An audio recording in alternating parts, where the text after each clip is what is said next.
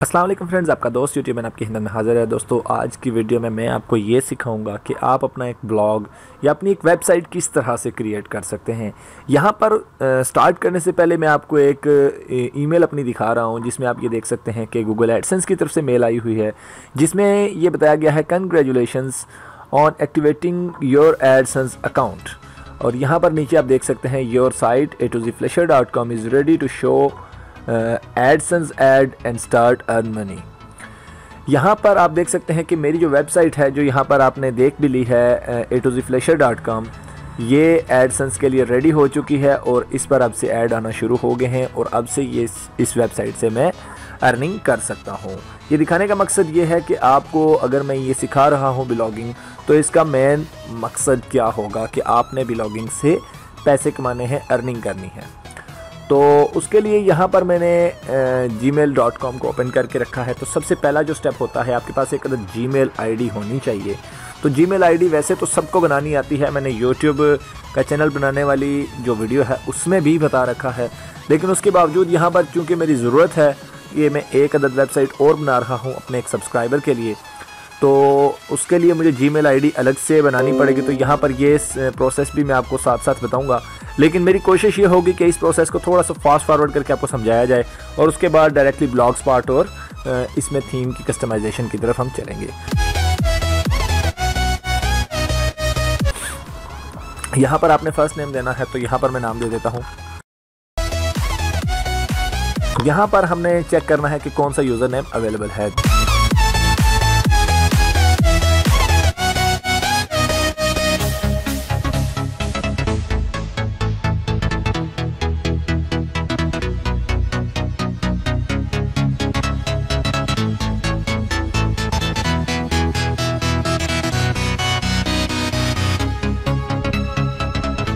यहाँ पर मैंने पासवर्ड इंटर कर लिया है, यहाँ से मैं नेक्स्ट करता हूँ।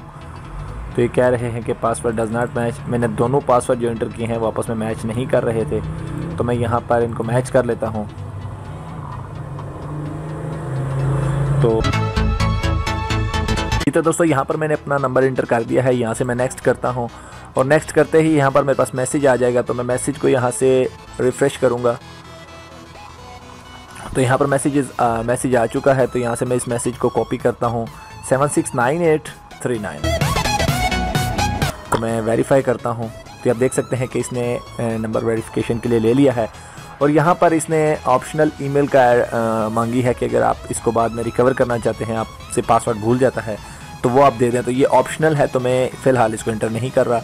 यहाँ पर डेट ऑफ़ बर्थ मैं इंटर कर देता हूँ। तो यहाँ पर तो यहाँ पर आपने कोई भी ऐसी डेट ऑफ़ बर्थ इंटर करनी है कि जिससे आपकी जो एज है वो 18 ईयर से ज़्यादा हो। तो यहाँ से मैं नेक्स्ट करता हूँ। तो यहाँ से यस आई एम तो जब यहाँ से आप आई एग्री करते हैं, ये आप देख सकते हैं कि हमारी जीमेल आईडी कंप्लीटली तैयार हो चुकी है। अब हमने इस पर अपना एक ब्लॉग तैयार करना है और उस ब्लॉग में जो है अपनी कस्टम थीम को इंस्टॉल करना है। जी तो हम blogspot.com पे आ चुके हैं। यहाँ पर आपने करना क्या है कि साइन इन पे क्लिक करेंगे। और ये आपसे अकाउंट पूछेंगे। आपने पासवर्ड दे देना है जो आपने यहाँ पर लगाया था। जी तो आपका पासवर्ड जो है, यहाँ पर इसने एक्सेप्ट कर लिया है और यहाँ पर ये कह रहे हैं कि अपने ब्लॉग का जो आप टाइटल रखना चाहते हैं तो ब्लॉग मैंने जो बनाना है वो ऑनलाइन अर्निंग से रिलेटेड बनाना है बनाना है तो यहाँ पर मैं ऑनलाइन अर्निंग या अर्न मनी ऑनलाइन लिख लेता हूँ। ब्लॉग का एड्रेस चूज़ करना है, आपने डॉट कॉम डोमेन लगानी है तो यहाँ पर फिर भी अपने ब्लॉग से रिलेटेड एड्रेस ही आपने करना है।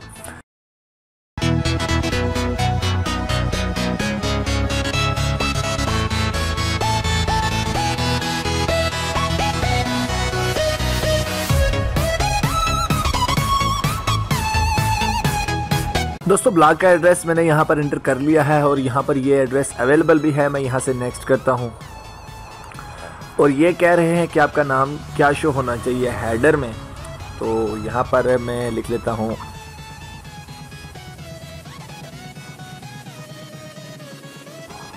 जी तो दोस्तों, यहाँ तक आपका ब्लॉग क्रिएट हो चुका है। ये तमाम जो लॉज वगैरह लिखे हैं, इनको मैं यहाँ से क्रॉस कर देता हूँ। तो आपके ब्लॉग की फाइनल लुक कुछ इस तरह से आ गई। एक इनका डिफ़ॉल्ट थीम यहाँ पर लगा होगा तो हम यहाँ से व्यू ब्लॉग कर लेते हैं।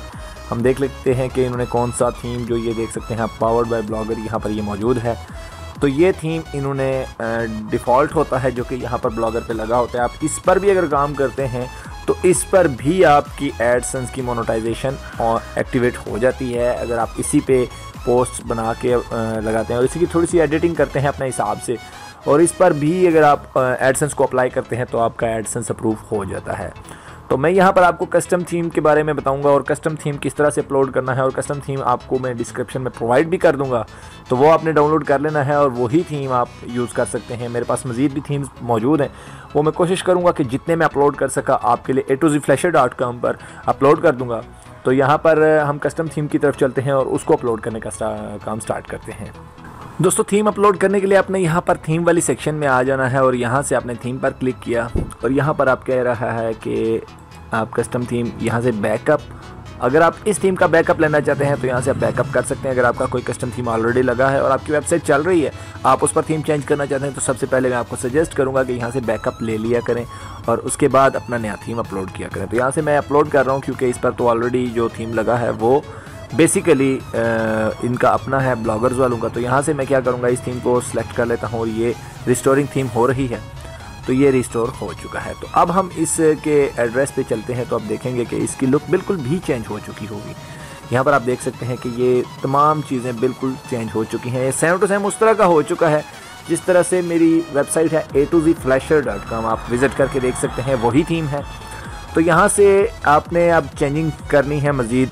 वो चेंजिंग मैं आपको सिखाऊँगा इंशाल्लाह इस मेन्यू के बारे में। और यहाँ पर ये तो सारा कुछ इसी तरह रहेगा। ये तमाम इन चीज़ों की चेंजिंग मैं आपको सिखाऊँगा। और यहाँ से फुटर टैक्स के बारे में भी आपको बताऊँगा। ये लिंक्स हमने किस तरह से लगाए ये चीज़ें भी आपको इंशाल्लाह नेक्स्ट वीडियो में समझाई जाएँगी। और यहाँ से ये तमाम चीज़ें, ये फेसबुक का लिंक और ये यूट्यूब ट्विटर और यहाँ ऊपर भी आपको फेसबुक ट्विटर और यूट्यूब नज़र आ रहा होगा। ये तमाम चीज़ें भी हम चेंज करेंगे और इन नेक्स्ट वीडियो में हम सीखेंगे कि हम एक कस्टम थीम की अपनी वेबसाइट की कंप्लीट जो है मतलब मोडिफिकेशन अपने हिसाब से किस तरह से कर सकते हैं और जो मेन्यू आप जहाँ पर लगाना चाहते हैं उसको किस तरह से सेट किया जा सकता है। तो इन मिलते हैं उस नेक्स्ट वीडियो में, तब तक के लिए अल्लाह हाफिज़।